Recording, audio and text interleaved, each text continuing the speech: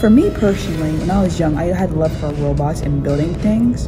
And since I love robotics, I like to build stuff. I was thinking about how I can incorporate art and technology in the same thing. It helped me open my eyes to a, lot of stuff and also teach me how would this work if you went to this field like some like cybersecurity or maybe graphic design and how like the intro to like programming, how like the language, like the main language you need to like learn to go into like other stuff as well. Deal with technology, computers, and robotics as well. My dream job would be cybernetics, being or robotics in that field. Some the connection between living things and technology. I'd like to have like the connection. Maybe we can be like maybe arm prosthetics.